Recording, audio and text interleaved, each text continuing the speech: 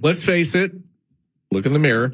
Many of us are addicted to social media. We Mm-hmm. check our phones literally hundreds of times a day, many times looking to see if someone commented or liked one of our posts. It almost feels a little addiction-y, if the truth were told. So joining us on the KOGO News Live line, licensed professional counselor, founder of the Brain Performance Center, Leigh Richardson. Good to have you back, Leigh. Thanks for having me. All right. So what is it about social media that grabs our attention so hard? Well, you know what it is? It makes us feel good when we get on there and we see all these beautiful things. And when, when something makes you feel good, that brain starts kicking out dopamine. Dopamine's a neurotransmitter. That makes you feel good. So the more we see it, the more we do it, the more dopamine we get, the more we want to do it. It's a biological process going on in our brain. So it's like, yeah, it's like a loop. But but what's the solution for for people who are addicted to that rush that we get from Twitter, from Facebook, from TikTok? Well, I think the solution is boundaries.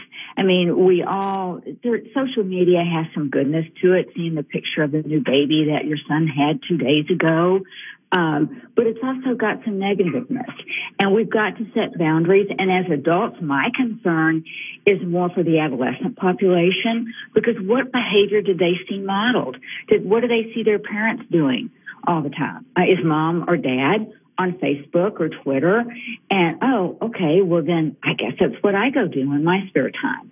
So I think we need to stop and think about what behavior we're modeling for the other people in our lives and stop and ask ourselves, what, what are your goals from social media? You know, Yeah. it it is interesting that that sometimes on um, Instagram or whatever it is, I will see a woman who's probably in her 40s or 50s, Right. and she's in her workout gear and she's posing kind of seductively and she's got the big lips and you know she's she's just kind of like oh just hashtag workout you know whatever and you think okay what does her 13 14 year old daughter think when she sees this picture Right. That's a really good question. I think the daughter thinks, oh, I guess I should mimic that. I, I should do that. Right. That's what my mom's doing. Man, I- it is. I find social media to be so worrisome when it comes to kids, and I'm not even a parent. But I'm telling you, if I had kids, there would be no Facebook, no Insta, no nothing. They would probably have a flip phone. I'd probably buy them a oh, June Oh, there- bug for seniors. There'd be no phones at the dinner table. This is Right. this is how I would be. But I mean, I think that because of this addiction, that And it is addiction. yes, It it- truly is addiction. it is addiction, and like you said, Leigh, um, it's it's all about boundaries. And how much do you get into your kid's life, though? I mean, it, does it depend on their age? Well, I don't think it should depend on their age. I think if your kid has access to a phone, your ha- your kid has access to the internet, then it should be monitored. And there's ga- there's apps that you can have on the phones that can do that for you.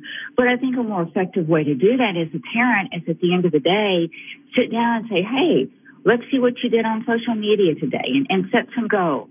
Let's see if we can get that social media viewing under an hour. And if you can do that for a week, you, this is the reward. I'm a big believer in the reward method, not the punishment. Well, and and you know, what if you just decided as a family, you know, we're instead of sitting around goofing off for an hour every night, we're going to go for a walk or a bike ride around the neighborhood. Excellent I mean, just something that is not inside your house. We've had enough. Leigh, thank you, thank you so much for your time once again. Always appreciated. Thanks, Leigh. Thank you. Bye bye.